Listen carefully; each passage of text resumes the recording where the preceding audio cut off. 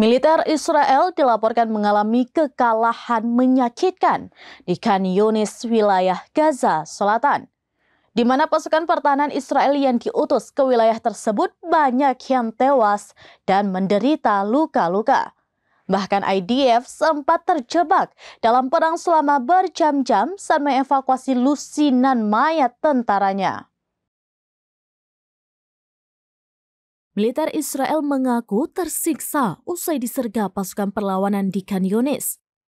Pasukan pertahanan Israel itu dinyatakan banyak yang tewas dan luka-luka dalam penyergapan tersebut.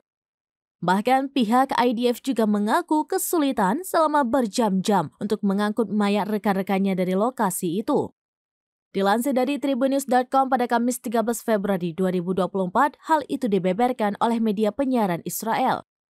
Dikatakan bahwa tentara IDF menderita situasi sulit di Khan Yunis setelah mengalami penyergapan besar-besaran pasukan perlawanan, di mana penyergapan tersebut menimbulkan korban jiwa dan luka bagi tentara Israel. Dijelaskan pula bahwa IDF mengalami kesulitan untuk mengangkut mayat-mayat tentaranya dari lokasi itu. Bahkan ketika sedang melakukan evakuasi, IDF juga sempat terjebak dalam perang selama berjam-jam. Di sisi lain, Radio Tentara Pendudukan juga melaporkan bahwa Kepala Staf Umum Herzi Halevi memutuskan untuk menarik divisi ke-36 dari Gaza dan memindahkannya ke perbatasan Lebanon.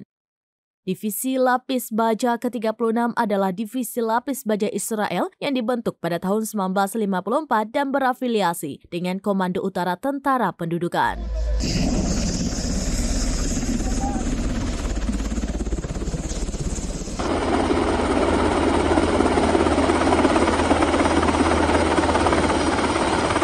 Demikian informasi terkini Syedar Alun. Saksikan terus beragam informasi lainnya.